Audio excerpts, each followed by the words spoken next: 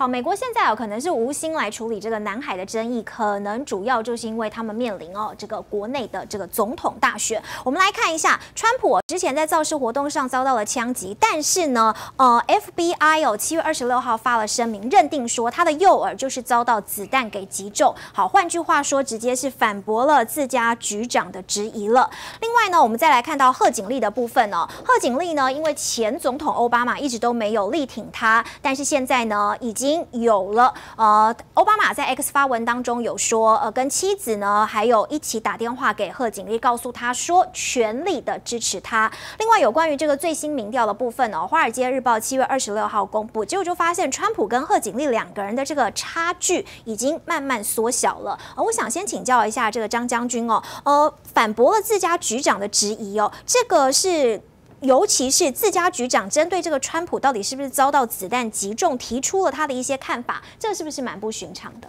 我认为这个，因为在众目睽睽之下，嗯，而且这个要去冒这个险，该去冒这个险，有真的子弹的飞过去，这个要在中，这个这个多少人的多少双眼睛在看，这个想要去作假的难度非常的高。对，如果那个不是在众目睽睽之下可以做手。比如说在游街的时候，那毕竟在动态嘛。演讲的时候，人是站在台上是静态的，你就在那个地位置，你不会跑来跑去。但你在游街的时候，那人群就是少了。你在现场的时候，人群这个好几千人；你在游街的时候，旁边的再再站满，也没有多少人呢。就跟甘乃迪总统被刺杀，就那些人而已。这是动态的，动态的，动态的状况之下，可能见证人就没有那么多了，因为他是在在这个。游街游车的在移移动状况之下，但是问题那是静态的，在现场，所以想要去在那种在这种这种静态的之下，想要去做手，没有那么简单的。嗯，那我认为现在如果贺锦丽推出来了，我认为已经八九不离十了。那将来选举的话，就是讲共和党、民主党各自归队。那各自归队的话，你看他两个将来的票数，两个将来现在的民调都会慢慢拉近，因为本来就是旗鼓相当的嘛，就跟在四年前。那个川普跟拜登，那拜登，因为川普一直认为他赢了，他不会输啊。后来拜登险胜，因为美国是选举人票，谁谁拿到两百七十票选举人票就获胜了嘛。后来这个川普他还赖赖账，因为他总票数，他认为他总票数超过啊，是这个样。但我认为，所以在在在这个阶段哈，因为还剩下三个月，对，那换句话说，两个这个拉近是是是正常的现象。那我认为决战就是那七个摇摆州。那七个摇摆州有宾州啊，威斯康星州啊，嗯，还有我们讲内华达州啊，还有北卡，对不对？还有乔治亚州，你这些七个州，我认为他们是会这两个双方啊，不管赫尔吉尼也好，川普也好，他们会把这个重点放在那摇摆州，因为摇摆州决胜负，摇摆州的这些游离票怎么样去争取这个摇摆州游离票？大家都已各自归队的话，共和党的这个基本的票仓跟民主党基本票仓，大家想要去抢。也还蛮难搬动的，花那个力气已经把它放在这个七个摇摆州，嗯，那七个摇摆决胜，那现在为什么川普能够赢呢？他可能在这七个摇摆州当中，目前共和党，共和党占的是稍居优势，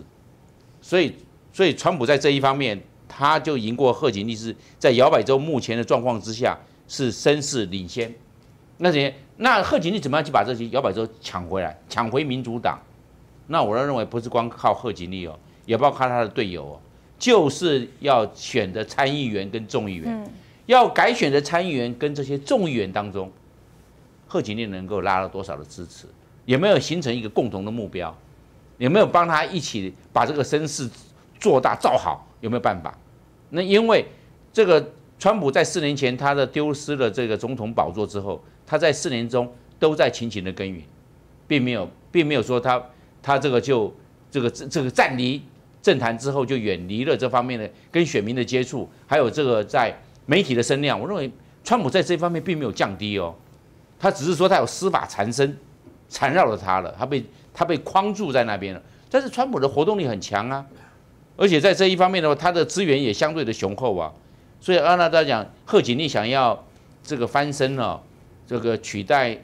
我们所讲的拜登这一方面的劣势哦，嗯，他还是要花很大的功夫才能够转败为胜。嗯哼，好，但是我想问一下厉将军哦，其实就是只要你菲律宾信守承诺的话，那么中国大陆呢也是会允许你派民船哦来运送生活物资嘛？我觉得哈，其实呃，蔡委员刚刚讲的翻译的话，我我我也有我的翻译，是这个我的翻译是王毅跟这个他的菲律宾外长讲的话哈，他三点协议，第一个就是说，我告诉你，仁爱礁是我的，嗯，你必须要承认这件事情。那菲律宾外长说好。那第二个，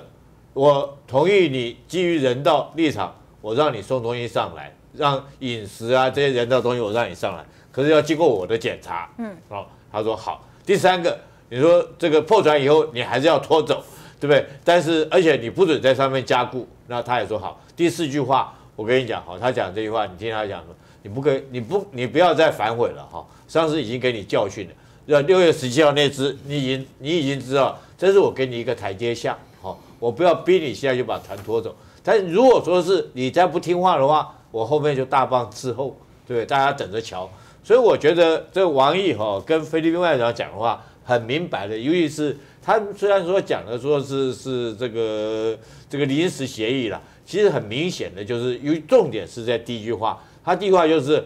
呃仁爱礁那个岛礁是中国的领土，嗯，然后这不得反悔，然后我现在因为你小马可是你可能在你国内里面你必须还是你好歹是个总统嘛，那我打脸我还是要留点情面给你。所以我这个时候不对你动手，可是你自己就这个还是要按照我们协约来哈。如果你后悔来讲的话，那我下次动作就会更大。那这次协约在什么时候写呢？我觉得好有几件事情，为什么美国跟菲律宾这次会服软，会这么认输？然后不但认输之后。然后你看看王毅这次他讲了这些话，对菲律宾外长他说这个很火爆，其实很火爆就是把菲律宾外长叫来骂一顿，对，骂得很凶了。我就不相信菲律宾外长敢跟王毅讲一些比较重的话，那应该就是王毅用比较凶狠的口气对着菲律宾外长骂，那哪来的这种口气？我跟你讲，外交上面很重要，就是还有军事上面的实力，你才可以讲出这么重话。那我们看到什么？之前一连串的事情下来，你就知道第一个。当然，就是我觉得南海电子战里面，那美国很明显的落败了、落后了。那个十二个小时的电子战，那菲律宾大概自己本身也被这个电子战电磁波遭受到池鱼之殃，整个吕宋岛的北部所有的电都都坏掉了。他知道这严重性很大。如果说解放军在这边对他实施电子战来讲的话，他很多电气设备或者很多通讯信号来讲都会中断掉。所以菲律宾知道这个事情严重性，后果在哪里？那美国也知道，说在这个地方来讲，我没有在地的优势，我从飞飞机飞这么远来，飞一个这么新、这么好的咆哮者这个电战机来，在这边我还是打不过你的航空母舰。所以美国知道自己在这方面来讲没有在地优势。第二个，我觉得说是这个呃大陆来讲的话，它很明显在五月十五号的时候。他公布海警三号令生效以后，六月六月十六月十五号生效，六月十七号他马上就动手了，而且动手之前他他做了什么动作呢？他公布了，大家我想印象大家还看得出来，马德雷三号那个菲律宾士兵不是拿着枪对着这个这个中国的海警，拿着枪对着他，没这个解放军就公布那段影片，好，你敢拿枪对着我，好，这给我一个下手的理由。再来，他去割断那个渔民的这种渔网嘛。哈他基于这两个理由，等于先铺成了我下手的礼物以后，六月十七号就动手。那这是